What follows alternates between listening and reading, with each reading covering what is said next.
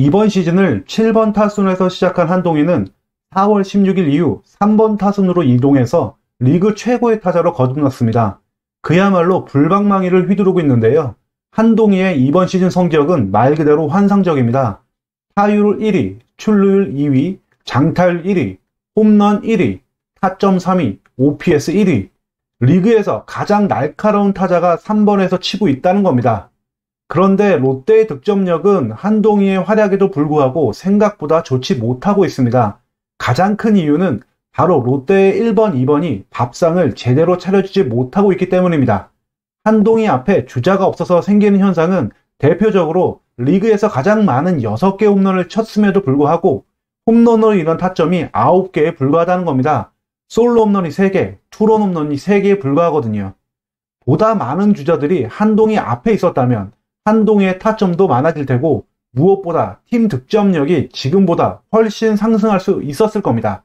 그나마 홈런으로 인한 타점을 적었지만 득점권 타율이 4할 2푼 9리로 찬스를 놓치지 않고 있다는 것이 다행스럽긴 합니다. 그렇지만 지금 한동희가 버닝하고 있을 때 그 파괴력을 더 크게 하기 위해서라도 한동희의 앞과 뒤의 타자들이 힘을 내줘야 됩니다. 특히 이번 영상에서 지적하고 있는 롯데의 테이블 세터들이 분발을 해야 됩니다. 롯데의 1번 타자는 타율이 2할 3푼 8리에 불과하고 출루율은 3할 3푼, 도루는 한 개도 없습니다.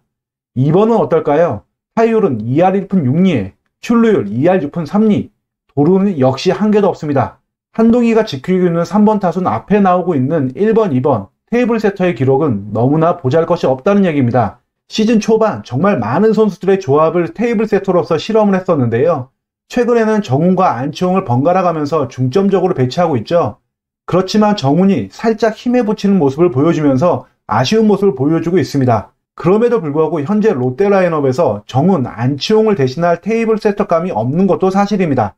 결국 리그에서 가장 날카로운 무기인 한동희의 파괴력을 최대한으로 끌어올리기 위해서는 롯데 테이블 세터를 이루고 있는 이 두 베테랑이 조금 더 힘을 내주면서 한동희 앞에 많이 나가주길 기대할 수밖에 없는 겁니다.